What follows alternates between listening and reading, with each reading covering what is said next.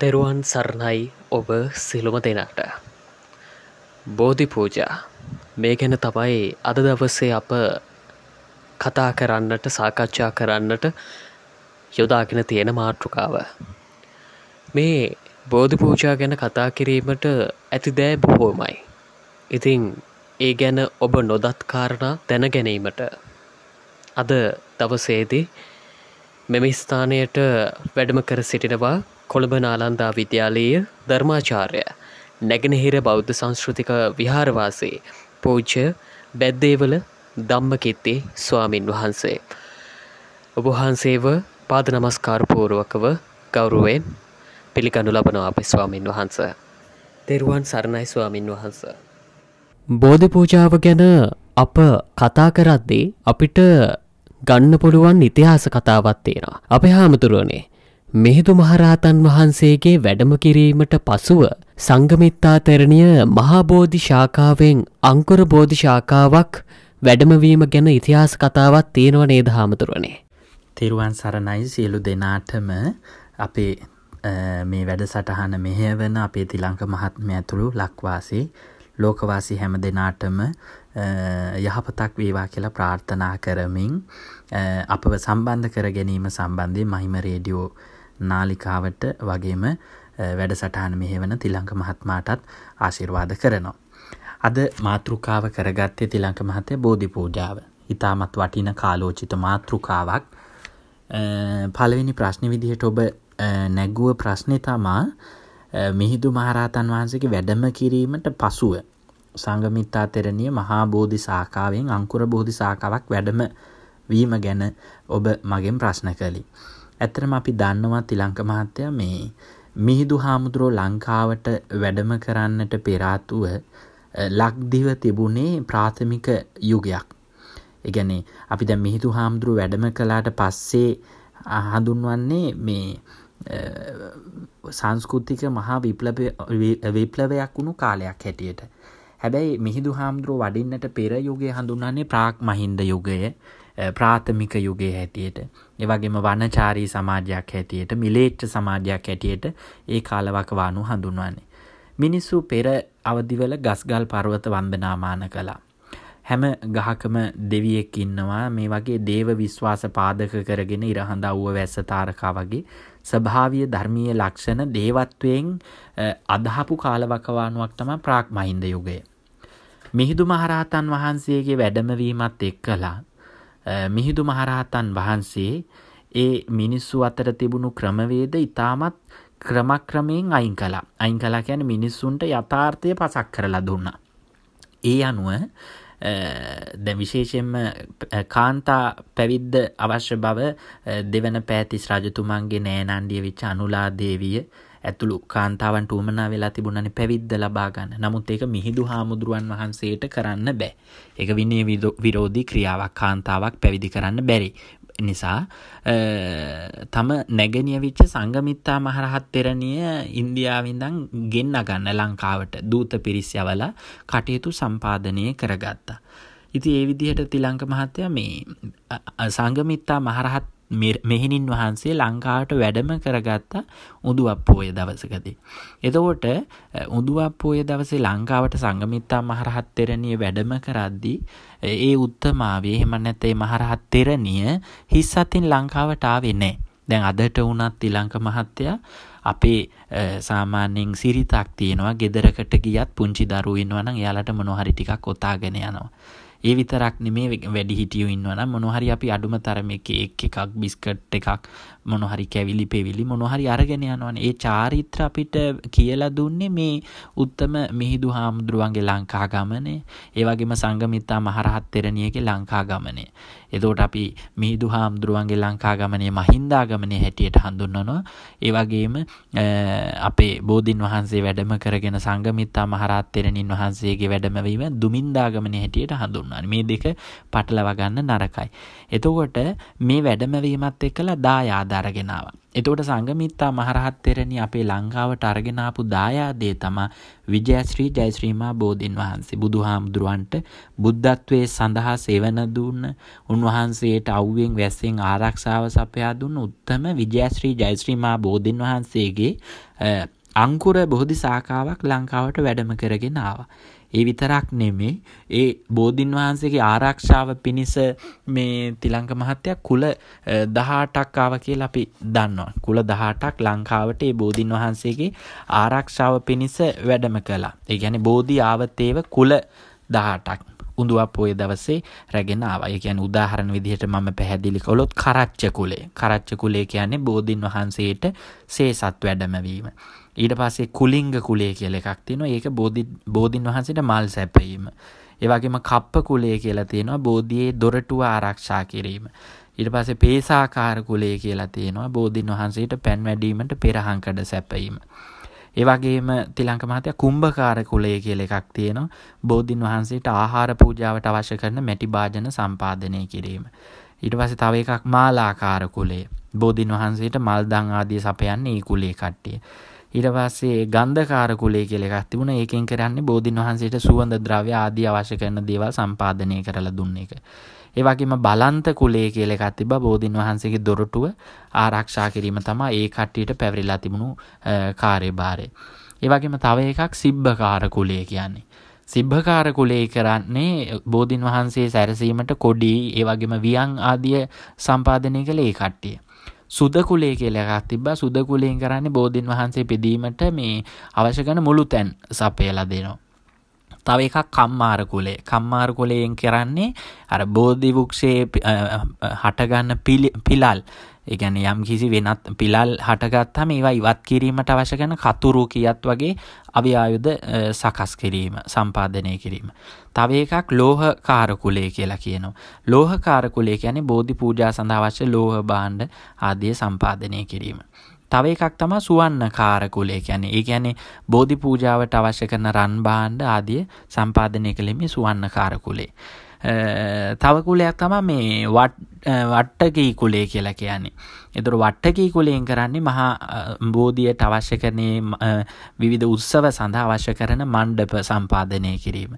තව එකක් චිත්තකාර කුලේ බෝධි පූජාවට වියන් සිතුවම් කිරීම ඒ කුලේ කට්ටිය කළේ. ඊට පස්සේ තව එකක් තිබුණා ආතෝච්චවාදක කුලේ කියලා. ආතෝච්චවාදක කුලෙන් කරන්නේ බෝධි පූජාවට අවශ්‍ය කරන හේවිසි සම්පාදනය කිරීම.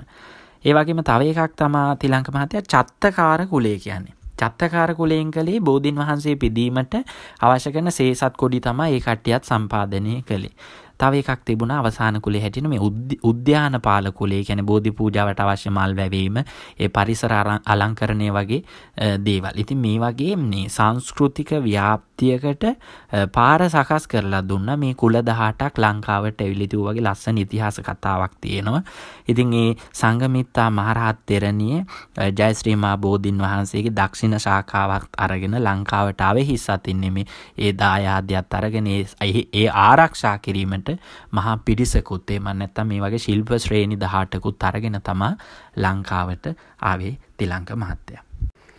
අපි හාමුදුරුවනේ බෝධි පූජා ආදී කටයුතු ආරම්භ වෙන්නේ එතැන් පටන් නේද? ඇත්තටම මේ බෝධි පූජාව කියන්නේ මොකක්ද හාමුදුරුවනේ? ඔව් ඊළඟ ප්‍රශ්නේ විදිහට ඔබ ගත්තේ ඇත්තටම බෝධි පූජාවක් කියන්නේ මොකක්ද කියන කාරණාව. ඉතින් තිලංක මහත්තයා බෝධි පූජාව කියලා කියන්නේ බෝධියට අපි කරන ගෞරවයනේ. දැන් පූජාව ගත්තාම පූජා ක්‍රමවිධි දෙකක් තියෙනවා. එකක් ආමිස පූජාව අනිත් එක ප්‍රතිපත්ති පූජාව. එතකොට සැදැහැති බෞද්ධයෝ ඒ කියන්නේ ශ්‍රද්ධාව තියෙන නැත්තම් ආමිසයෙන් දැන් අපි මල් පහන් පුද පූජාදී පවත්වන කටයුතු ආමිස පූජා. ප්‍රතිපත්ති පූජාව කියලා කියන්නේ අපි ප්‍රතිපත්ති ගරුකව යම් කිසි ආකාරයෙන් දැන් සීලයක් සමාදන් වෙලා මම ඒක සීලෙ උපරිම ප්‍රතිපත්තියෙන් ආරක්ෂා කරනවා. ඒවා ආධ්‍යාත්මික කටයුතු. ඒ වගේ ඒවා ප්‍රතිපත්තිමය පැත්තට ගෙනෙන්නේ. ඉතින් කොහොම හරි සැබෑවටම මේ කොහොමද බෝධි පූජාවක් කරන්නේ? දැන් එතකොට අර විදිහට ඉතිහාස කතාව අපි දැන් ඉගෙන ගත්තා. බෝධින් වහන්සේ රෝපණය කළා. ඊට පස්සේ ඒ ඒ විදිහට අෂ්ටඵල රුක බෝධි ආදී මේ වගේ ලංකාවේ මේ ඉදි වෙන්න පටන් ගත්තා. ඒ බෝධින් වහන්සේගේ විවිධ තව ශාඛා පැන නැග්ගට පස්සේ ඒ බෝධින් වහන්සේලා ඒ විවිධ ස්ථානයන්හි රෝපණය කරලා ඉතින් මේ වගේ විශේෂම සිහිපත් කරන්නට සිහිපත් කරන්නට ඕනේ සැදැහැති ඇත්තන්ට මේ බෝධි වංශය කියලා තියෙන බෝධින් වහන්සේගේ ඉතිහාස කතාව. විවේක තියෙන වෙලාවට මම අපේ සැදැහැති ඇත්තන්ට යෝජනා කරන්නේ මේ පොතපත හොයාගෙන කියවන්න ලොකු අවබෝධයක් සහ Tamanට ලොකු දැනුමක් ඒ තුලින් ලබා ගන්නට පුළුවන්. මේ බෝධින් වහන්සේගේ සම්පූර්ණ ඉතිහාස කතාව බෝධි වංශය. මේ වංශ කතා තුල තියෙන්නේ ඒ අතීත ඉතිහාස කතා. ඒතර බෝධි වංශය තුල තියෙන්නේ බෝධිය සම්බන්ධ ඉතිහාස කතාව. ඉතින් ඒවා කියව ගන්න පුළුවන් නම් ගොඩාක් වටිනවා. ඉතින් බෝධි පූජාවක් සිද්ධ කරන්නේ එතනින්දන්. එතකොට අපි යම් කිසි ආකාරයෙන් විහාරස්ථානයකට ගිහිල්ලා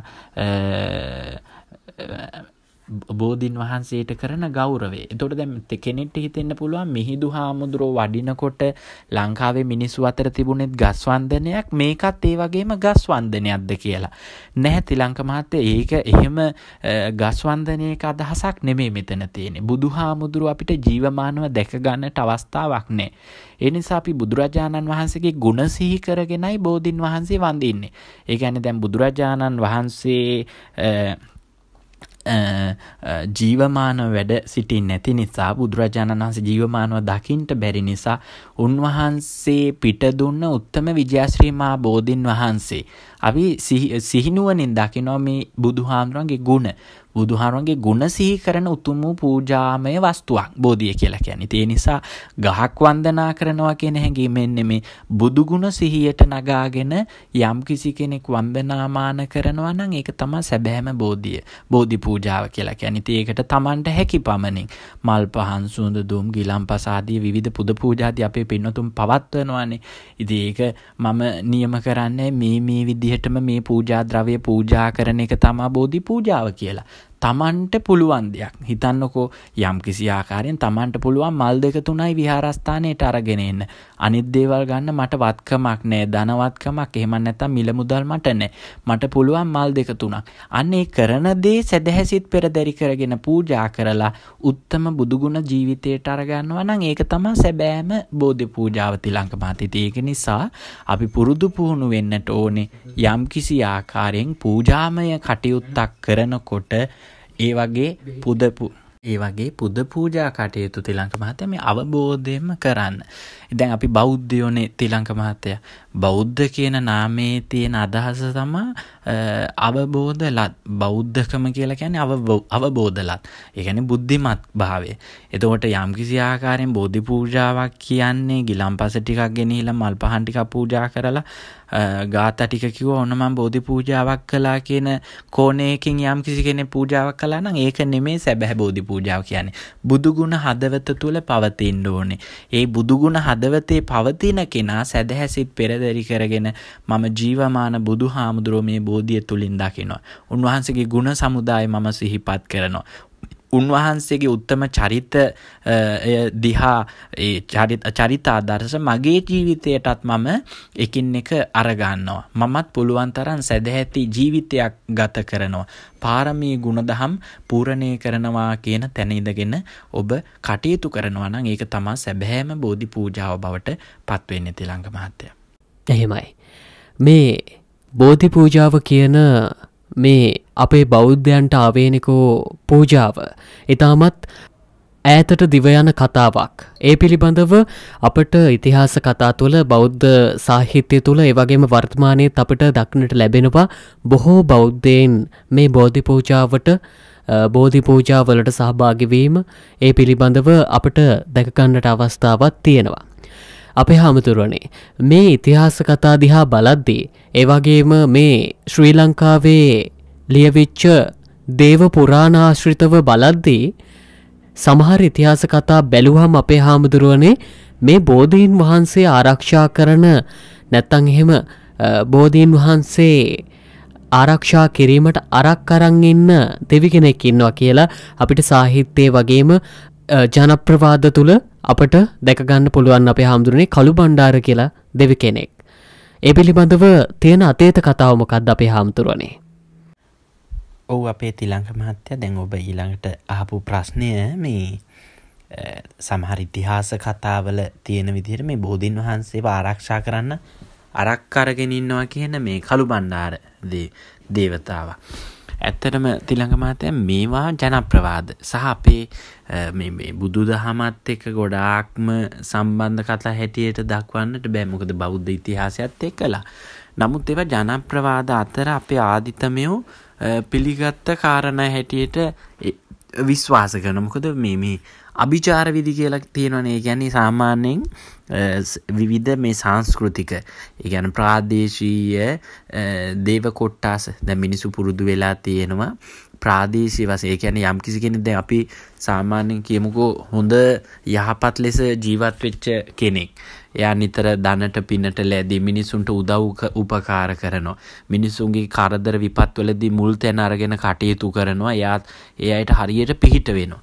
ද එහෙම කෙනෙක් මිය පරලව ගියපුහම අපි නිකං එහෙම පුද්ගලයා මේ තිලංක මහත්තය නිකාර දෙවියෙක් විදිහටනේ මිනිස් අතර නිකම් ප්‍රචලිත වෙලා තියෙන මිය ගියාට පස්සෙත් එයාව නිතර අදහන්න එයාට නිතර පින් දෙනවා එයා නිකං හරියට දෙවියෙක් විදිහට මිනිස්සු අබහන්න පටන් ගන්නවා. දෙහෙම සිද්ධි ඕන තරන් තියෙනවා දැන් සාමාන්‍යින් ඒ වගේ අර ප්‍රාදේශීය දෙවිවරු.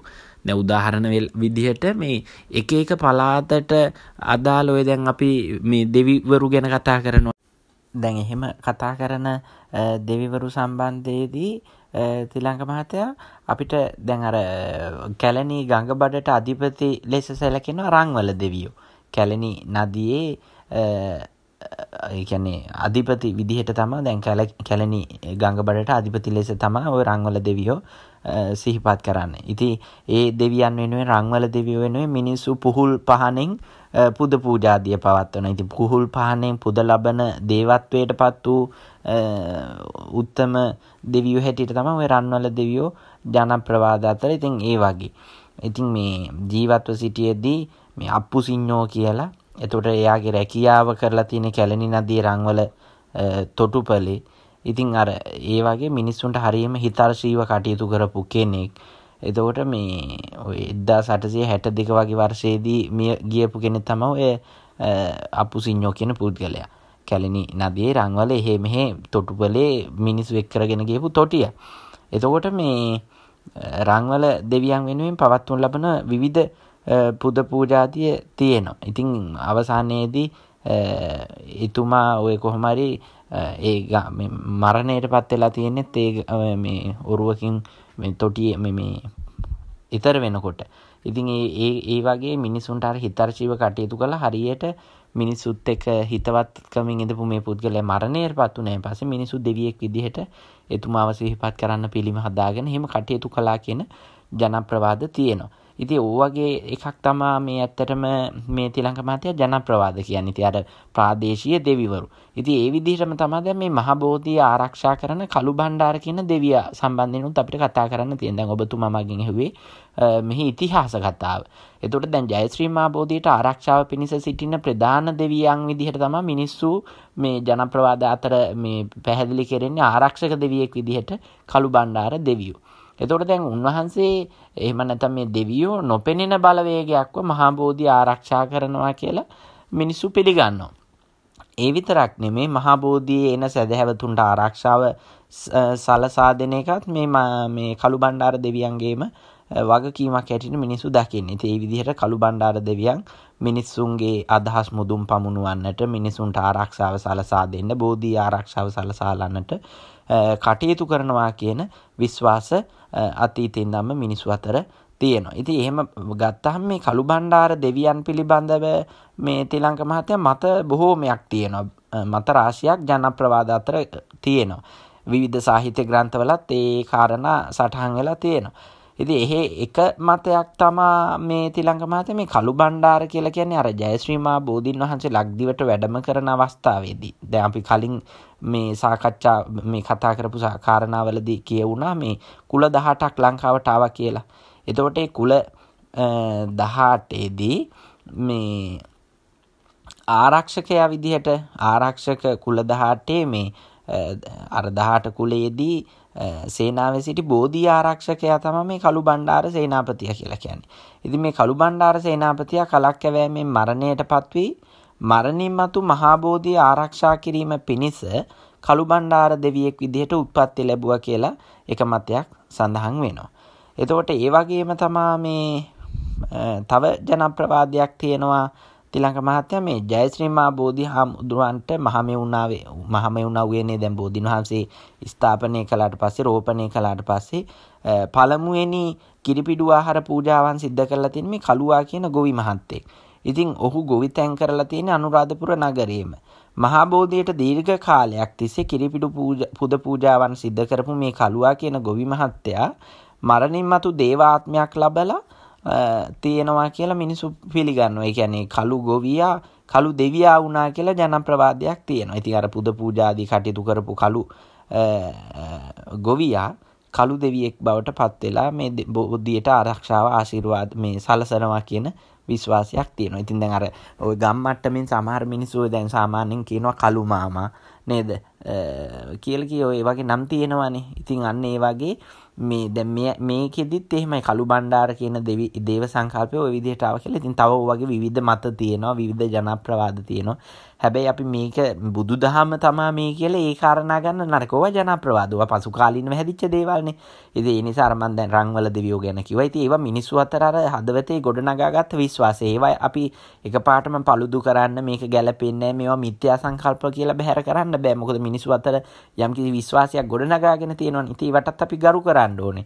එතකොට දැන් අර අහපු ප්‍රශ්නයට අදාළව තිලංක මහත්තයා කළුබණ්ඩාර දේව විශ්වාසය ওই විදිහට තමයි ආරම්භ වෙලා තියෙන්නේ. හැබැයි ඉතින් ඒක බුදුදහම සහ මේ බෝධි පූජාවත් එක්ක පටලවා ගන්න නරකයි. මේ ඒ වගේම තමා තිලංක මහත්තයා මේ කළුබණ්ඩාර දෙවියන්ට ජයශ්‍රී මා බෝධියේ මුර භාරව සිටින්නට මේ පත්තිනි මෑණියන්ගෙන් අවසර ලැබුණා කියලා තව කතන්දරයක් තියෙනවා. එතකොට ඒ දෙවියන් මහාබෝ මුරකරමින් සැදැහැවතුන්ගේ සියලු මුරුතැන් පූජා භාරගන්නට වරම් ගත්ත බවත් කියවෙනවා. එතකොට මේ රටට එන බාධක දුරු කරමින් යහපත සැලසීමට මේ කළු දේවතා බණ්ඩාර විටක රූමත් මවක වගේ මිනිසුන්ට පිහිට වුණා කියලා මේ කෝල් මුරයක සඳහන් වෙනවා. හරිද දැයි උදාහරණයක් විදිහට මේ මේ වගේ විවිධ කවි ලියවිලා තියෙනවා උඩමළුවේ ජයරන් කඳ බාර වෙලා වැඩ සිටින්ට 이르දි වෙලා දන් මුරුතැන් කිරි ඉතිරුම් භාර ගන්නට වැඩි කර එන නැව් කප්පර පොඩි කර දස අත දමන්ට හැඩමාතා උතුම් කෙනෙකි කළු දේව හැඩමාතා උතුම් කෙනෙකි කළු දේවතා වැඩමවන්. ඕ වගේ එක එක අර මේ කවි පවා ඊයේදිලා තියෙනවා මේ ලියවිලා තියෙනවා. ඉතින් ඒ විදිහට ගත්තාම මේ කළු දෙවියන් මහාබෝ මුර කළත් මේ වැරදි වැඩ කරන අයටත් පුංචි සැරවැර මේ දමන බව මේ කෝල් මුරේ කළු බණ්ඩාර දේව විස්තරයේදී සඳහන් වෙනවා. ඉතින් මේ ඒ වගේ තව විවිධ ජනප්‍රවාද තියෙනවා. ඉතින් අර ඔබ අහපු ප්‍රශ්නයත් එක්ක තිලංග මහත්තයා මේ වගේ මේ මේ අතීත ජනප්‍රවාද තමා කළු බණ්ඩාර දෙවියන් සම්බන්ධයෙන් තියෙන්නේ කියලා සීපත් කරන්නට කැමති. ඒමයි හාමුදුරුවනේ. හාමුදුරුවනේ මේ අපේ බෞද්ධ ඉතිහාසයේ සඳහන් වෙනවා ආනන්ද හාමුදුරුවෝ ගෞතම බුදුරජාණන් වහන්සේ පිට දුන්න මහබෝධයෙන් බීජ ගෙන සිටුවීමක් පිළිබඳව. එම බෝධි ආනන්ද බෝධී නමින් නේද අපේ හාමුදුරණය හැඳින්නුවේ. ඕ ඇත්තටම මේ තිලංක මහත්තය දැන් ඔබ ආපු ප්‍රශ්නය ආනන්ද බෝධිරෝපනය සම්බන්ධයෙන් ඇත්තටම දැන් බුදු හාමුදුරුවෝ ජීවමාන වැඩඉන්න කාලේ ඈත දුර බැහැරෙන් එනවා සමහරයි බුදු හාමුදුරුවෝ දැක බලාගෙන බුදු හාමුදුරන්ට ගෞරව කරලා ඒවගේ බුදු හාමුදුරන්ගේ බණපදයක් කාල යන්න දුර බැහැර දුර කතර ගෙවාගෙන ගම් නියම් ගම් සැරි සරාගෙන ආපු පිරිස් හිටිය. සමට දැන් අද කාලෙ වගේ තිලංක මහත්තයා මේ දුරකතන පහසුකං ඒව මෙව නෑනේ එතොට යාන වාහන පහසුකන්න ෑන ඔක්කොම සමහට පයින් තම ගොඩක් වෙලාට ගමන්බීමක් යන්නේන්නේ ඉති බුදු හාමුදුරුව සමහර වෙලාවට ගම් දනවහි සැරිසරමින් දහම් චාරිකාවේ වැඩම කරලා. කවුරු හරි බුදු හාමුදුරුව බැහැදකින්නට එනකොට බුදු හාමුදුරුවෝ නෑ. එතකොට බුදු හාමුදුරුව නැවත වඩින්න දවස් කීපයක් දවස් ගණනාවක් සතියක් දෙකක් ඒ වගේ ගත වෙන අවස්ථා තියෙනවා. එතකොට අර ආපු අය බුදු හාමුදුරුව නෑ කියලා හරි කනස්සල්ල පල කරලා බුදු හාමුදුරුවෝ නැහැනේ කියලා හරි දුකයින දැන් බුදු හාමුදුරුව බලාපොරොත්තුවෙන් එනකොට බුදු හාමුදුරුවෝ නෑ. නමුත් දැන් බුදු හාමුදුරුවෝ පිළිබඳ ගෞරවයෙන් ආවේ බුදු හාමුදුරුවෝ වෙනුවෙන් විවිධ මල් වර්ග නෙලාගෙන බුදුහාරණ පූජා කරන්න ඕවගේ විවිධ ගැටලු දැන් සමහර අවස්ථාවලදි දැව සඳහන් වෙනවා මේ බුදු හාමුදුරුවෝ වන්දනාමාන කරන්න ගෙනාපු විවිධ පුද පූජාදිය බුදුහාමුදුරන්ගේ කුටි ඉස්සරහා පඩිය උඩ මිනිස්සු තියලා යන්න පටන් ගත්තා. ඉතින් ඒක කරදරයක් වුණා. කරදරයක් කියන්නේ ඒක හරි ටිකක් අර අපිලිවෙලයි. ඉතින් හැම තැනම මිනිස්සු අර ඉස්සරහා බුදුහාමුදුරන් කුටි ඉස්සරහා පඩිය තුල ඒ ගියන හැමදේම පුද පූජාදිය තියලා මිනිස්සු යන්න පටන් ගත්තා. ආනන්ද හාමුදුරුව මැදිහත් වෙලා බුදුහාමුදුරන් මේ කාරණාව සිහිපත් කළ ස්වාමීනි භාගතුන් වහන්සේ ඔබ වහන්සේ නැති වෙලාවේදී ඔබ වහන්සේ විහාරයේ නැත්තම් කුටියේ නැති වෙලාවේදී දුර බැහැරින් එන මිනිස්සු මේ විදිහට විවිධ පුද පූජාදී මේ පඩියේ ඉස්සරහා මේ කුටිය ඉස්සරහා තියලා යනවා. එනිසා ඔබ වහන්සේ සිහිපත් කරලා අපිට පූජා කිරීම පිණිස පූජා වස්තුවක් තිබුණනම් හොඳයි කියන කාරණාව පාදක කරගෙන තමයි මේ ආනන්ද බෝධි රෝපණය බුදුහාමුදුරුවෝ පිට දුන්න බෝධිය රෝපණය කරන්න පටන් ගත්තා. ඉතින් ඒ විදිහට බුදුහාමුදුරුවෝ ජීවමානව ඉන්නකොට මේ බෝධින් වහන්සේ වන්දනා කරන්න ඒ විදිහට රෝපණය කළා කියන ඉතිහාස ගත ඒ උත්තම කතාව අපි අහලා තියෙන එකක්. ඉතින් එදාම තමයි බුදුහාම ජීවමානව වැඩ ඉන්නකොටම තමයි බෝධි රෝපණය ඒ විදිහට සිද්ධ වුනේ.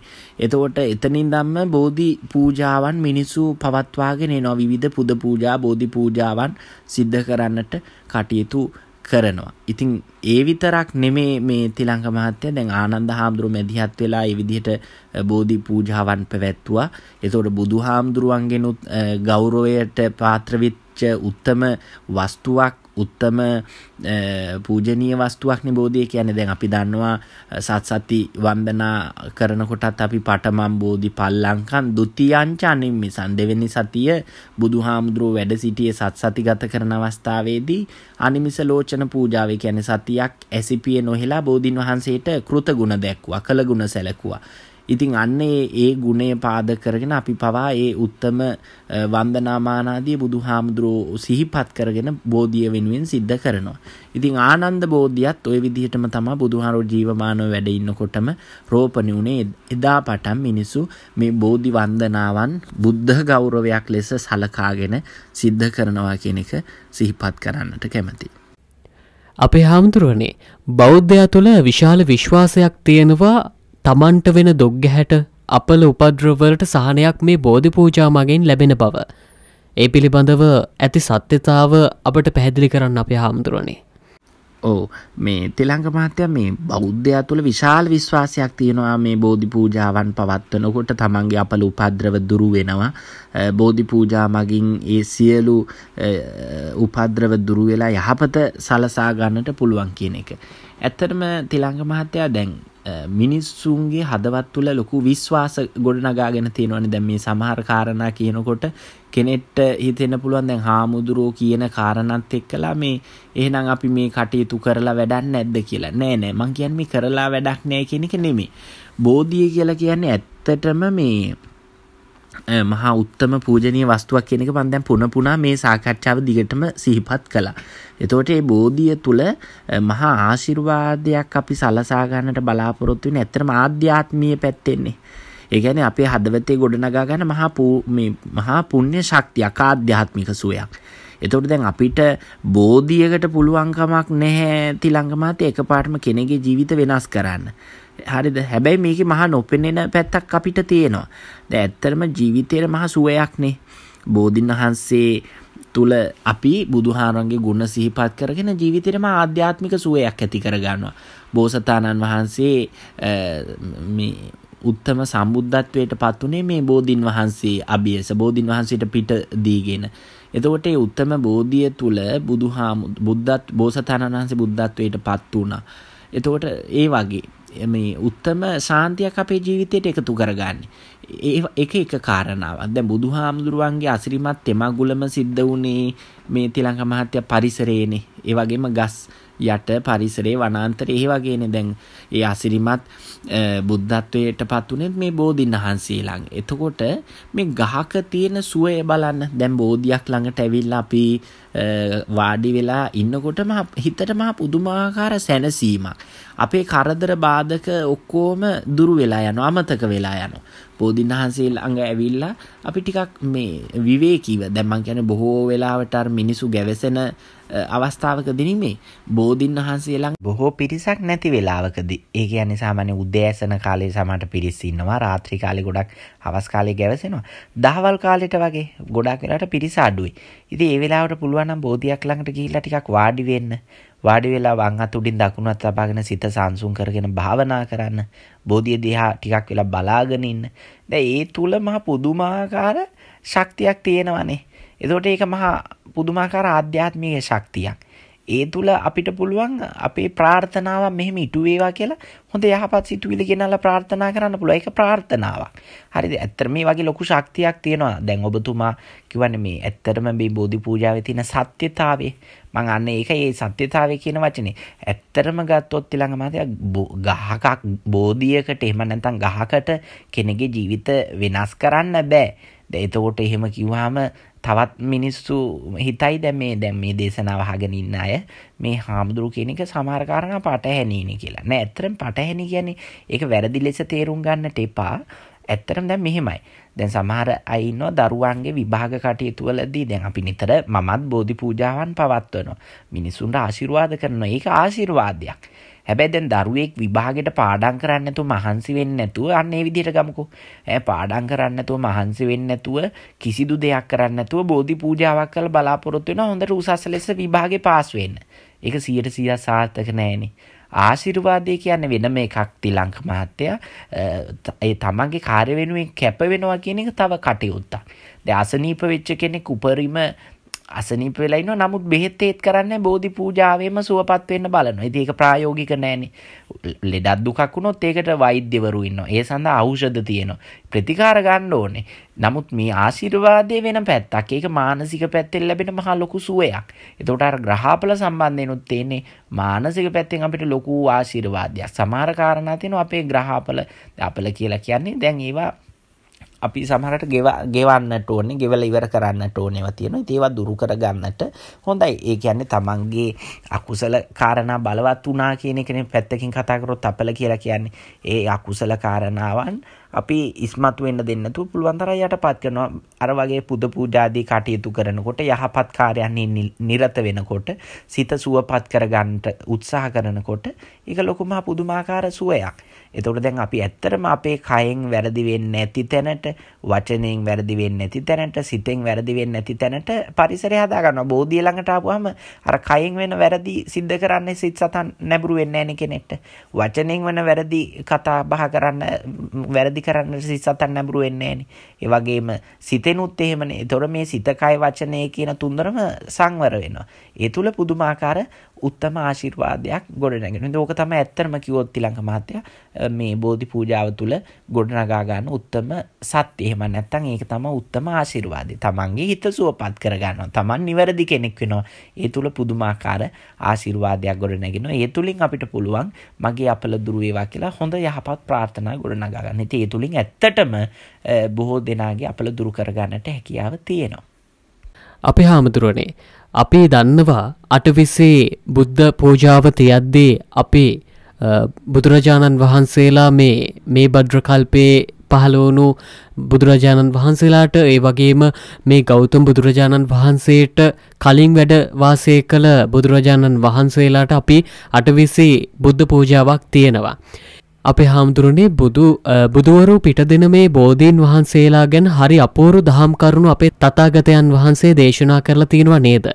ඊළඟ කාරණාව දැන් ඇත්තරම බෝධීන් වහන්සේ සම්බන්ධයෙන් බුදුරජාණන් වහන්සේ දේශනා කරලා තියෙන කාරණා. අපිට දැන් ඇත්තරම මේ දේශනා කරලා තියෙන කාරණා කියන මාතෘකාවටත් වැඩිය තිලංග මහත්තයා බුදුහාමුදුරුවෝ කියලා කියන්නේ ඇත්තරම දේශකෙක් විතරක් නෙමේනේ බුදුරජාණන් වහන්සේ කියන්නේ ප්‍රායෝගිකව යමක් ප්‍රත්‍යක්ෂ කරගෙන. ඒ කියන්නේ නිකං ආපු ගමනක් නෙමේ සාරා සංකේ කල්ප ලක්ෂයක් පාරමී දම් පුරාගෙන ජීවිතය තුළ ප්‍රත්‍යක්ෂ කරගත්ත දේම තමා ඒ කියන්නේ අවබෝධ කරගත්ත දේම තමා ලෝක සත්‍යයට දේශනා කළේ.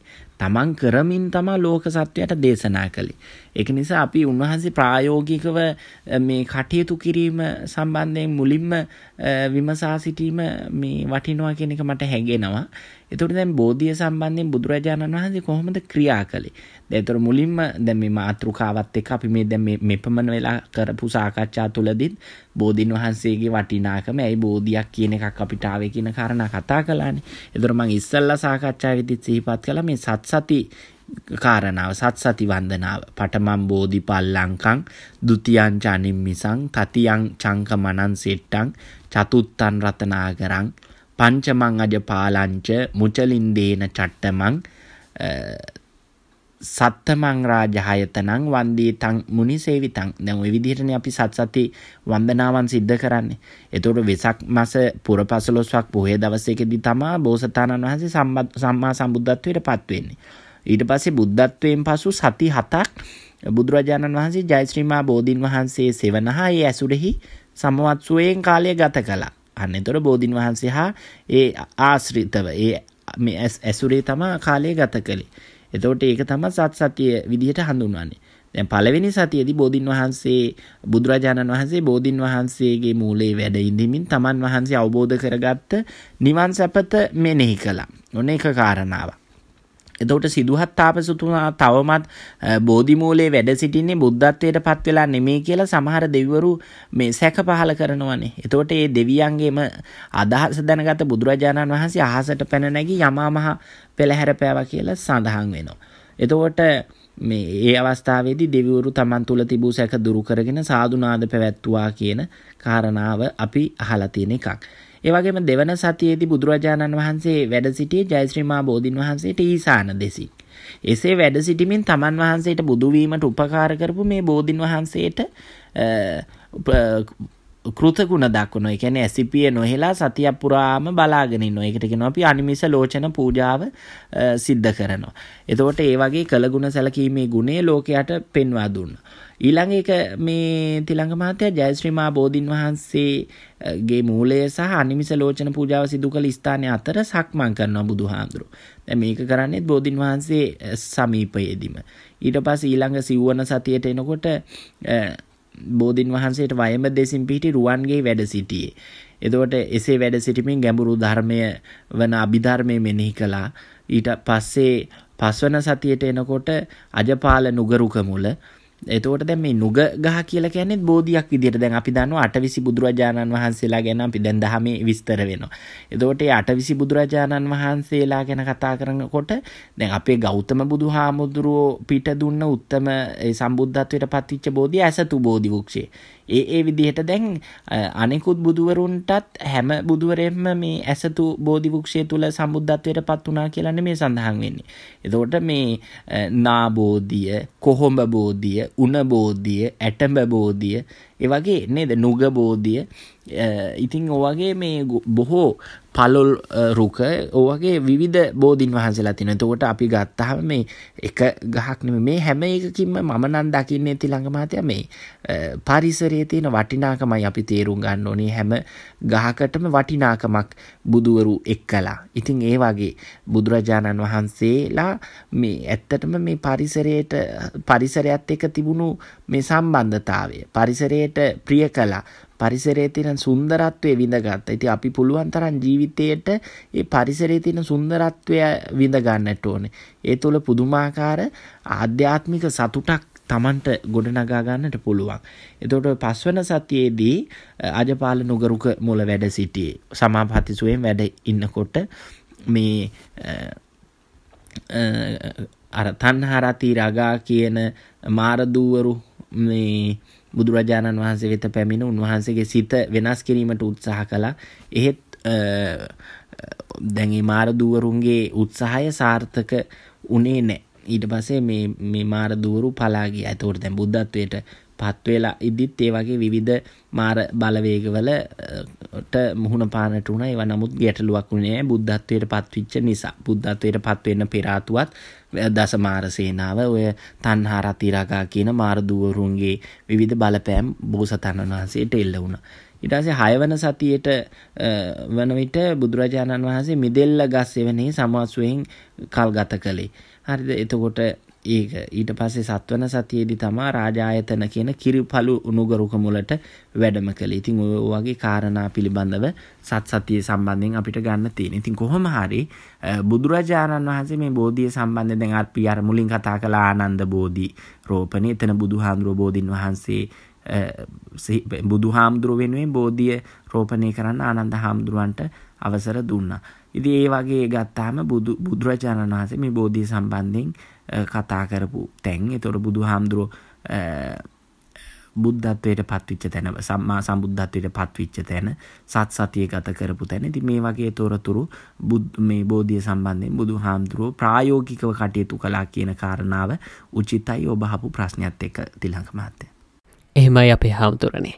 අපේ හාමුදුරනේ අද අපේ හාමුදුරුවනේ අද බෞද්ධයා අතර පැරණගෙන ප්‍රශ්නයක් තමයි බෝධීන් වහන්සේගේ අනවශ්‍ය අතු කැපීමේදී පවක් හටගන්නවාද කියන එක. ඒ පිළිබඳව තතාගත ධර්මයට අනුව අපට පහතලා දෙන්න අපේ හාමුදුරුවනේ. මේ දැන් ඔබ තුමා තිළඟ මතය හපු ප්‍රශ්නය දැන් බොහෝ දෙනාට තියෙන ගැටලුවක්. ඒගැන දැන් අනවශ්‍ය බෝධි අතු කපා ඉවත් කරන එක ඇත්තනම පාපයක්ද කියන එක. ඇත්තරම දැන් බුදු හාමුදුරන්ගේ දහම තුළ උගන්නන්නේ තිලංක මහත්තයා මේ සිතනේ හැමදේටම මුල් වෙන්නේ චේතනාම් භික්කවේ කම්මං වදාමි. මහණෙනි මම චේතනාව කර්මයට මුල් වේ කියලා බුදුහාමුදුරුවෝ දේශනා කළේ. එතකොට ඒ වගේ දැන් අපේ සිතුවිලිනේ. දැන් අපි බෝධිය බෝධිය අනවශ්‍ය අතුනේ කපන්න දැන් එතන මාතෘකාවෙම ඔබ අහපු දේ අනුව තිලංග මහත්තයා බෞද්ධ අතර පැන නගින ප්‍රශ්නය තමයි මේ අනවශ්‍ය අතු. එතකොට දැන් අවශ්‍ය දෙයක් නම් අපි කපලා ඉවත් කරන්නේ නැහනේ තිලංග මහත්තයා. බෝධියට අනවශ්‍ය නිසා තමයි අපි මේ බෝධි බෝධි අතු කපලා ඉවත් කරන්නේ. ඒක ඉතින් පාප කර්මයක්, ඒක අකුසලයක් කියලා කාටවත් කියන්න බෑ. දැන් උදාහරණයක් විදිහට හිතන්නකෝ බෝධි අතු සමහරට බිල්ඩින් එකක් දැන් සමහර වෙලාවට දැන් කාක බෝධිය තියෙනවා. කාක බෝධි කියන්නේ බෝධින් වහන්සේගේ බෝ ඇට අනුභව කරලා කපුටෝ ගිහිල්ලා මේ මේ වර්චස් කරනවා කියලා කියන්නේ ජරා කරනකොට ඒ තුලින් කොහේ හරි තවත් බෝධියක් පැලවෙනවා. එතකොට දැන් ඒවා අපි කියන්නේ කාක බෝධි කියලා. අපි ඒවට ගරු කරන්නේ නැහැ ඕන තරම් අපේ ගෙවල් දොරවල් වල තැන් තැන් වල ඒ වගේ බෝධි කහල ගොඩවල් වලත් හට ගන්නවා. එතකොට අපි අනේ සාදු කී කී ඒ වගේ වඳින්නේ සමහරට ඒවා ගෙවල් වල තිබුණත් ගලවලා ඉවත් කරනවා. එතකොට දැන් එහෙම දැන් අපි යන්නේ මේක පූජනීය වස්තුවක් මේක ගලවල ඉවත් කරන්න හොඳ නැහැ කියලා දැන් ඔන්න අපේ සමහරට ගෙදර තාප්පේ අයිනෙම ලොකුවට හැදීගෙන එනවා. දැන් අපි එතකොට තිලංග මහත්තයා තාප්පේ කඩලා කඩාගෙන ගිහිල්ලා තාප්පේ විනාශ වෙලා තාප්පෙත් කඩ මේ යටින් මුල් ගිහිල්ලා ගෙදරටත් හානි වෙලා ගෙදර සමහරට මේ ෆවුන්ඩේෂන් ඔක්කොම අවුල් වෙලා එහෙම වෙනකන් මේ අපි ඉන්නවද නැත්තම් එතනින් මේක කපල ඉවත් කරනවද ඒක අන්න ඒකයි ප්‍රායෝගික වෙන්න ඕනේ. ඒ තුල පාපයක් නෙමෙයි දැන් අපිට ඒක හිංසාකාරී නම් පීඩාකාරී නම් අපි ඒ වෙනුවෙන් කටයුතු කරන දැන් අනවශ්‍ය දේනේ ඉවත් කරන්නේ. ඒක නිසා බෝධියේ අනවශ්‍ය අතු කියලා කියන්නේ දැන් දැන් සමහර වෙලාවට බෝධියේ පිලල් හට ගන්නවා. ඒ කියන්නේ වෙනත් කුරුල්ලෝ එහෙම විවිධ මේ ඵල වර්ග ගෙනල්ලා සමහරට බෝධිය බෝධීන් වහන්සේගේ උඩ තියාගෙන අනුභව කරනවා. ඒ තුල සමහරට ඒ වගේ ඇවිලා සමහරට ඒ ඒ බීජයන් අනුව බෝධිය තුල තව වෙන ශාඛා හට ගන්නවා. ඒවට කියනවා පිලල් කියලා. පිළිකා කියන්නේ. එතකොට ඒ වගේ. දැන් ඒක එතකොට බෝධියට ලොකු හානියක්නේ. එතකොට ඒවා කපලා ඉවත් කරන්න වෙනවා. ඉතින් ඒ නිසා තිලක මහතේ ප්‍රශ්නයත් එක්ක ඔබ නගපු කාරණාවත් එක්ක අනවශ්‍ය දේ කපන්නේ අවශ්‍ය දෙයක් නම් අපි කපලා ඉවත් කරන්නේ බෝධියට හානි පමුණුවන අදහසකින් නෙමෙයි. අපේ හිත තියෙන්නේ බෝධින් වහන්සේගේ ආරක්ෂාව, බෝධින් වහන්සේගේ බොහෝ කාලයක් පවතින්නට ඕනේ කියන හැඟීම, තව බොහෝ දෙනෙක්ට වැඳ පුදා ගන්නට අවස්ථාව සලසන්න ඕනේ කියන හැඟීම. ඉතින් ඒ සිතුවිල්ල මත ඒ අනවශ්‍ය කාරණා අනවශ්‍ය මේ කොටස් ඉවත් කලා කියලා කිසිදු පහප කර්මයක් අකුසලයක් වෙන්නේ. ඒක අපි හිතන්න ඕනේ පුළුවන් තරම් ඒ තුල මේ දැන් අපිට හානියක් කරදරයක් එනවා නම් ඒ කෙරෙහි අපි තවත් මේ ඒ මත්තෙම කටයුතු කරනවා නැත්නම් ඒකට විරුද්ධව අපි කටයුතු කරනවා. ඒක කාරණාව හිතන්නට අවශ්‍යයි. ඉතින් ඒ නිසා දැන් අර බෝධින් වහන්සේගේ අතු ඉවත් කිරීමත් ඒ වගේම මේ අර අනවශ්‍ය විදිහට අපි වැඩෙන ඒවා ඒක සමහරට ඔළුවේ වදිනවා යන්න එන්න බෑ බෝධින් වහන්සේ වට කෙනෙක්ට පැන් කලයක්වත් නාවන්නට යන්න එන්න පුළුවන් කමක් නැහැ. අපි ඒ නිසානේ මේක මේ කරදරයක් වුණත් එහෙම්මම තියනවද නැත්නම් ඒ කරදර කොටස් ඉවත් කරනවද? ඉතින් ඒක හිතන්න ඕනේ ප්‍රායෝගික දහම බුදු දහම කියන්නේ ප්‍රායෝගිකත්වයෙන්ම හුරු පුරුදු කරන්නට ඕන දහමක්. ඒ නිසා බෝධිය සම්බන්ධයෙන් උත් අපි ඒ විදිහට ප්‍රායෝගිකව කටයුතු කරන්නට ඕන කියන එකයි මගේ මතය තිලංග මහත්තයා. අප දැක තිබෙනවා අපේ හාමුදුරුවනේ බෞද්ධ ජනතාව බෝධි පූජාවේදී මේ කොඩි ඒ වගේම මල්මාලා ඒ වගේම තමන්ගේ නම සටහන් කරපු විවිධ රූප ඇඳපු එවගේම ඩ්‍රහදොස් වලට අධිපති වූ දෙවියන්ගේ රූප ඇඳපු එක එක කොඩි එවගේම පඩුරු මේ ආදිය මේ බෝධීන් වහන්සේගේ අතුශාකා මත ගැටගස්සනවා ඒ වගේම එල්ලනවා මේ වගේ දේවල් කරනවා අපේ හාමුදුරුවනේ. මේ දේවල් සුදුසුද? ඇත්තටම තිලංග මහත්තයා මේ බොහෝ වෙලාවට බෝධීන් වහන්සේලා ආශ්‍රිතව බොහෝ දෙනෙක් කොඩිවැල් එල්ලනවා අපි දැකලා තියෙනවා. සහ එහෙම හැම බෝධියකටම ගියොත් බොහෝ වෙලාවට මේ කොඩිවැල් කොඩි පූජාවන් කරලා තියෙනවා. ගැටලුවක් නෑ දැන් අපි දන්නවා අර 18 කුලය ගැන කතා කරනකොටත් බෝධින් වහන්සේට කොඩි පූජාවන් කරන්න, සේසත් පූජාවන් කරන්න එහෙම කුල ආවා කියන එක. හැබැයි ඒකෙන් කියන්නේ බෝධිය වටා කොඩි ඔතල ඔතල ඔතල බෝධිය විනාශ කළා කියන එක නෙමෙයි. ඉතින් ඒ කොඩි පූජාවන් හොඳයි. තිලංග මහත්තයා ඇත්තටම අපි ශ්‍රද්ධාවෙන් ගෞරවයෙන් බෝධියට කරන ගෞරවයක් විදිහට කොඩියක් මහලා තමන්ගේ දෑතින්ම හරි තමන්ට පුළුවන් විදිහට තමන්ට පහසු විදිහට මිලකට අරගෙන හරි ගෙනල්ලා බෝධින් වහන්සේට පළඳනවා. හැබැයි ඒක ඒක මේ තිලංග මහත්තයා තව කෙනෙක්ට කරදරයක් වෙන්නටවත් බෝධින් වහන්සේගේ විනාශය සලසාලන එකක්වත් වෙන්න බෑ. ඉතින් ඒක නිසා ඒක නිවැරදි කටයුත්තක් වෙන්න එපා. දැන් මම අද ගිහිල්ලා බෝධියට කොඩියක් පැලඳුවා කියලා හිතන්න. කොඩිය පැළඳුවේ මම ගහ තද කරලා ගහ හිර කරලා කොඩිය තියලා ලණු වලින් ගැට ගහලා එහෙම කරන අය ඉන්නවා. මම කියන්නේ චීවර පූජාවන් කරනවා කොඩි පූජාවන් කරනවා. ඒක බෝධිය තියලා සමහර ලණු වලින් ගැට ගන්නවා. අය අර ගහ දැන් අපි හිතන්නකෝ අපේ ගෙදරක තියෙන මල් ගහක් හරි යම් කිසි ආකාරයෙන් මොකකින් හරි තද කරලා ගැට ගහලා තිබේ ඒක හානියක් නේ ගහට. ඒ වගේ මේ කොඩි පූජාවලදී වුණත් අපි හිතන්න ඕනේ කොඩියක් පූජා කරනවා. මම මගේ පූජාව කියලා එතන තමන්ගේ වැඩේ වුණා කියන එක නෙමෙයි. ඇත්තටම ඒක මම නම් දකින්නේ ඒක සැබෑ පූජාවක් නෙමෙයි. සැබෑ වන්දනාවක් නෙමෙයි. ඉතින් ඒ නිසා දැන් මේ එතකොට කොඩි පූජා කරන එක වැරදිද කියන එක කියනවා නෙමෙයි. අපි හිතමු දැන් මම අද ගියා මම පූජාවක් විදිහට කොඩිය පැලැන්දුවා. මගේ සතුට මම ඉටු කරගත්තා. මගේ ගෞරවය මං එලි දැක්කුවා. ඒක පුළුවන් නම් අද තිබ්බා. හෙට මම ගිහිල්ලා එතනින් ඒක ඉවත් කරලා දාන්න ඕනේ. හරිද? එහෙම නැත්තම් තිලංග මාත්‍ය ඒ විදිහට දැන් හිතන්නකෝ මිනිස්සු දහසක් දෙනෙක්. දහසක් දෙනෙක් ගිහිල්ලා කොඩි පලඳනවා බෝධිය කොහොම අපවිත්‍ර වේද? ලස්සනත්. අර බෝධිය තියෙන සැබෑ සුවය සැබෑ ලස්සන අපි අර ගිහිල්ලා බෝධිය දිහා බලන සුවේ තියෙද? කොඩි මිනිස්සු හැමෝම පැලැන්දුවොත්. ඒක මහ විනාශයක් නේ. එතන එතකොට සමහරට අර බෝධියේ කොළ කැඩෙනවා අතු විනාශ වෙනවා. ඉතින් ඒ විදිහට කටයුතු කරන එක ගැළපෙනවද? ඈ දැන් එක්කෙනෙක් හිතන්න පුළුවන් මගේ කොඩිය විතරනේ. දැන් ওই විදිහට දහසක් දෙනා හිතුවොත් එමෙ හැමෝම ওই විදිහට කොඩි පැලැන්දුවොත් ඒක ඇත්තටම මහා අසෝබනයි. ඒක අපවිත්‍රයි. ඒක නිසා අද මම පූජා කරපු දේ හෙට මම ඒක මගේ අතින්ම ඉවත් කරනවා නම් ඒක තමයි සැබෑ ලෙස. දැන් ඒ වගේ තියෙනවා. දැන් සමහර අය ඉන්නවා තිලංග මහත්තයා මේ බෝධින් වහන්සේ ළඟ ගිහිල්ලා අර අපල දුරු වේවා. ඒවා ගැටලුවක් නෑ. එහෙම සමහර වෙලාවට දැන් ඔය විවිධ ඔය ජ්‍යොතිෂ්‍ය සම්බන්ධයෙන් කටයුතු කර නැත්තෝ පවා වගේ දේවල් කියනවා. එතකොට අපේ මිනිස්සු මේ ග්‍රහපල දුරු වේවා කියලා ගහනවා. සමහර වෙලාවට විභාග අංක ලියලා පුතාගේ මේ පුතාගේ විභාග අංකේ විභාගයේ ඉහළින් සමත් වේවා කියලා එහෙම ඕන තරම් මම දැකලා තියෙනවා. එහෙම මිනිස්සු මේ අර බෝධිය ගාව කියලා කියනවා. දැන් කෙනෙක් එන්නේ ඇත්තටම හිතේ දුක නිවා ගන්නට නම් අරවා දැකලා අරවා කියවලා අර තවත් නිකන් ජීවිතේට නිකන් අනවශ්‍ය කාරණා ටිකක් ඔළුවේ දාගෙන එනවද? නැත්තම් ඉතින් බුදුහාමුදුරුවෝ කියලා බෝසතාණන් වහන්සේ සියලු දුක් නසපු තැනනේ. ඒ නසපු තැන අපි තව තවත් කර්ම රැස් කර ගන්නවද? තව තවත් එතන අපි අකුසල් රැස් කරගන්නවද කියලා අපි හිතන්නට ඕන. ඉතින් ඒ නිසා මේ පුළුවන් තරම් මේ බෝධින් වහන්සේ ළඟ ඒ විවිධ කොඩි පූජාවන් සිද්ධ කළාට ගැටලුවක් නෑ. ඒක පුළුවන් තරම් තව කෙනෙක්ට හානියක් නොවෙන්නට ඒ උත්තරම කටයුත්ත කරලා අපිට පුළුවන් නම් ඊළඟ දවසේ හරි ගිහිල්ලා ඒක ඉවත් කරන්න. ඒක තමයි ඇත්තටම වටින්නේ. සිවුරක් පූජා කළත් අපි යම්කිසි පූජාවක් සිද්ධ කළත් ඒව දේවල් අස් කරලා ඉන්න ඕනේ. එහෙම නැත්තම් ඒක ප්‍රායෝගික නෑ. දැන් සමහර අය ඉන්නවා බෝධිය ළඟටම ගිහිල්ලා මල් පූජා කරනවා බෝධිය ළඟ ගිහිල්ලා මුලටම ගිහිල්ලා මල් ටික හලලා එනවා. ඉතින් එතනින් වෙන්නේ අර ගහ විනාශ වෙන එක. ඉතින් අපි නොදැනුවත්ව අපි අපේ පින්කම කළා කියලා සතුටු වුණාට ඒ බෝධියේ බෝධියේ තියෙන ආරක්ෂාව නැති කරලා දැම්මනම් බෝධියට හානියක් පමුණුවලා ආවනම් ඔබ කළ පින්කම පින්කමක් විදිහට නම් මම දකින්නේ. ඒක නිසා අපි පුළුවන් තරම් ප්‍රායෝගිකව බෝධින් වහන්සේ ආරක්ෂා කරන්න තව කෙනෙක්ට බෝධින් වහන්සේට වන්දනාමාන කරලා හිත සුවපත් කරගන්නට පරිසරය හදලා එනවා නම් ඒක තමයි සැබෑම බෝධි වන්දනය කියලා කියන්නේ තිලංක මත. ඒක නිසා මේ කොඩි පූජාව සම්බන්ධයෙන් අපි පුළුවන් තරම් ප්‍රායෝගිකව අන් අයට කරදරයක් නොවන හිරිහැරයක් නොවන විදිහට වග බලා ගන්නට කටයුතු කරන්නට අවශ්‍ය බවයි මා සිහිපත් කරන්නේ.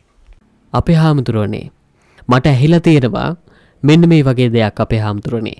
අප ගෞතම පුදුරජාණන් වහන්සේ අප දෙස බලා මහා කරුණාවෙන් මේ නිර්වාණ මාර්ගය සොයාගන්නට බෝධීන් වහන්සේ බෝධීන් වහන්සේගේ සෙවනේ තමන්ගේ සියලුම සැප අතහැරියා. ඉතින් ඒ බෝධීන් වහන්සේ යට ඉඳගෙන අප දේවල් ඉල්ලලා බාර වෙනවා ඒ වගේම කන්න ලව් කරනවා මේ වගේ දේවල් ඇත්තරම සුදුසුදා අපේ හාමුදුරුවනේ. ඒ වගේම මේ කතාව ඇත්තද? ඔව් තිලංක මහත්තයා ඇත්තටම මම ඉස්සලා මාතෘකාවේදීත් ඔය කාරණාව මේ ඉදිරිපත් කළ ඇත්තරම බෝසතාණන් වහන්සේ සියලු දුක් නසා උත්තම සම්බුද්ධත්වයට පත්විච්ච තැන උත්තම විජයශ්‍රී ජයශ්‍රීමා බෝධීන් වහන්සේ. අද නමුත් ඒ බෝධි දැන් බෝධි වන්දනාවේ වටිනාකම් ගැන අපි ගොඩක් දේවල් කතා කරපු නිසා මම ඒවා නැවත කියන්න උත්සාහ කරන්නේ නැහැ. ඉතින් ඒ උත්තම බෝධින් වහන්සේ ළඟට ගිහිල්ලා අපි විවිධ දේ ඉල්ලනවා නම් අපි මේ දේ මට ලැබෙන්න ඕනේ මට ධන දාන්නේ සම්පත් ලැබෙන්න ඕනේ මගේ පුතා විභාගේ පාස් වෙන්න ඕනේ මගේ පුතාට හොඳ බිරිඳක් ලැබෙන්න ඕනේ මගේ දියණියට හොඳ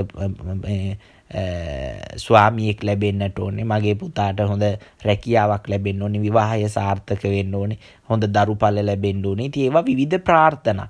ඉතින් ඒ යහපත් ප්‍රාර්ථනා ගැටලුවක් නැහැ. තිලංග මහත්තයන් ප්‍රාර්ථනාවක් තියෙන්න එපා. අපි යමක් කරද්දි ප්‍රාර්ථනා මේ ගොඩනගා ගන්න එක ගැටලුවක් නෑ.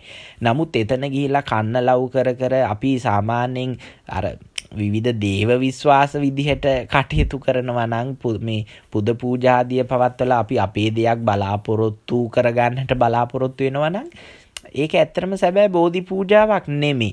ඉතින් ඒ නිසා සියල්ල අතහැරපු තැන අපි ගිහිල්ලා යමක් ඉල්ලනවා නම් ඒක ඇත්තටම ප්‍රායෝගික නෑනේ. බෝසතාණන් වහන්සේ සියලු දුක් නැසපු තැන අපි ගිහිල්ලා විවිධ දේ ඉල්ලනවා, කන්න ලව් කරනවා, මේ දේ ලැබෙන්නට ඕනේ කියලා.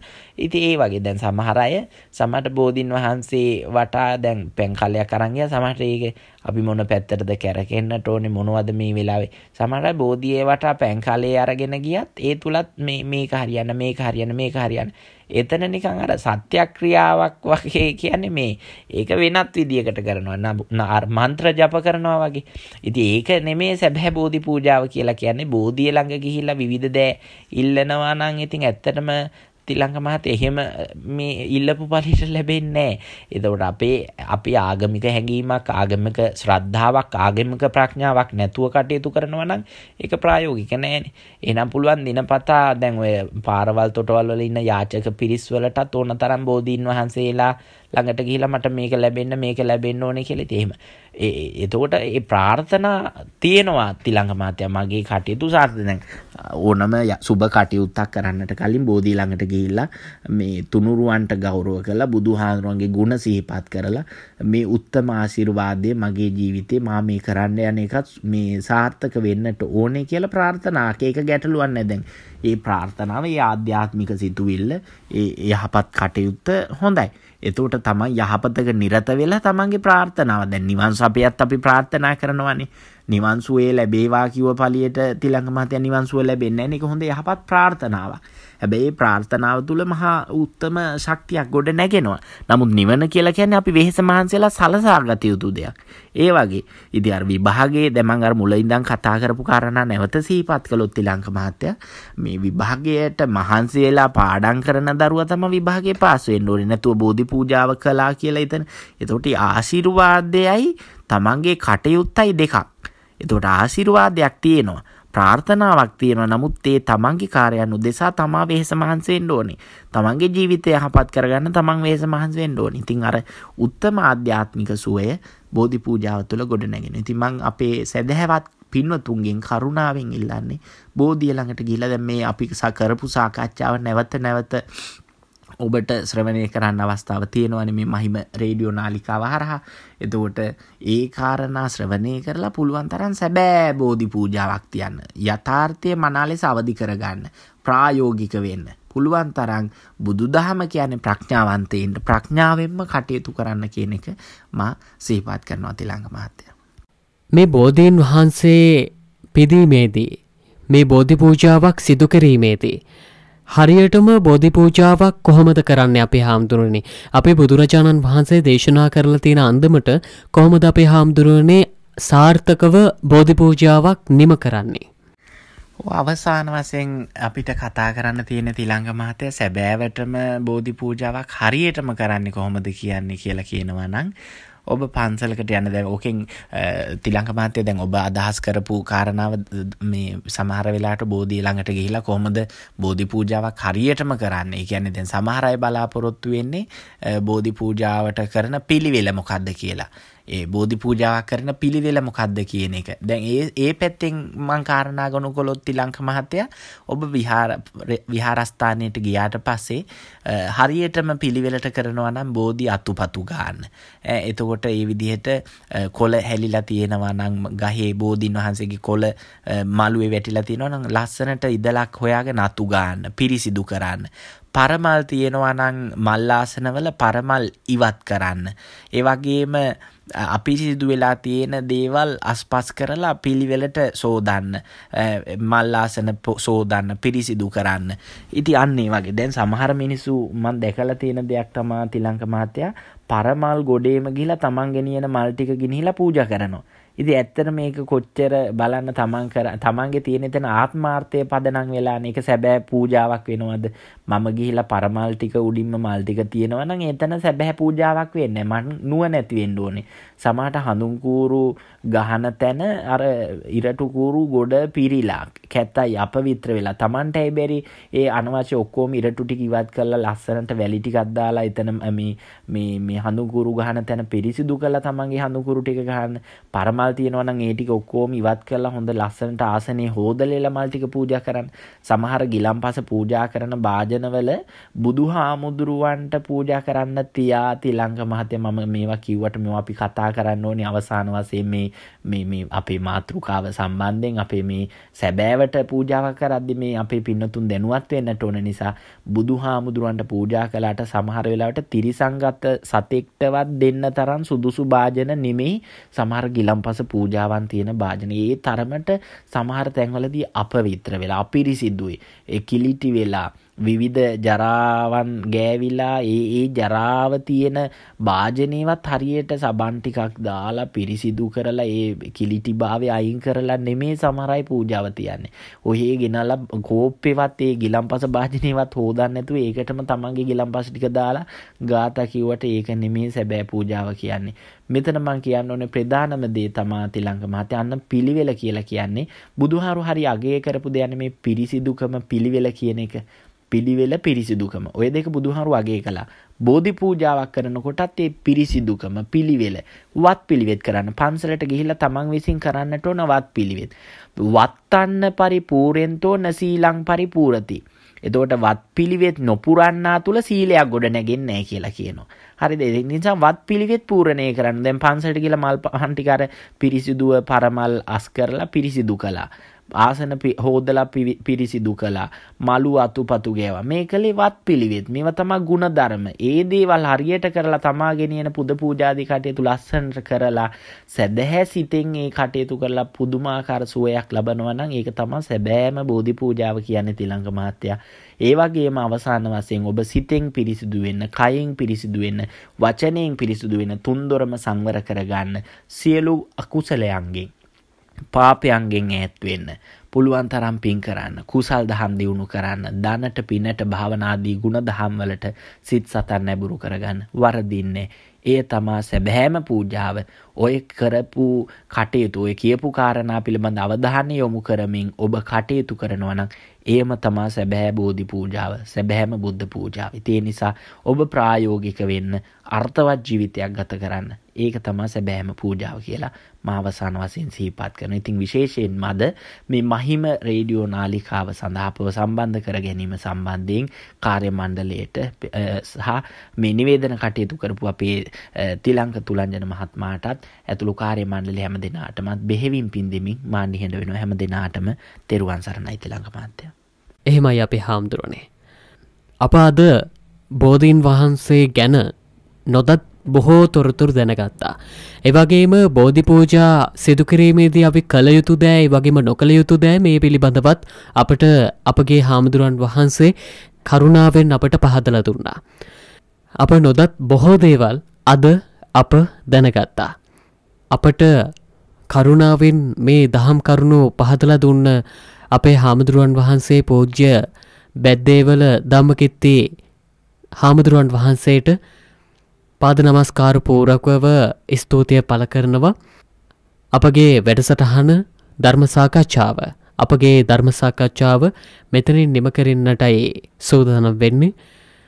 අපත් සමග මේ ධර්මදානයට එකතුුණු ඔබ සිළුව දෙනාට ඒ වගේම මේ ධර්මදේශනාවට වැඩම කළ වදාළ බැද්දේවල දම්මකිත්ති ස්වාමීන් වහන්සේටද තෙරුවන් සරණයි.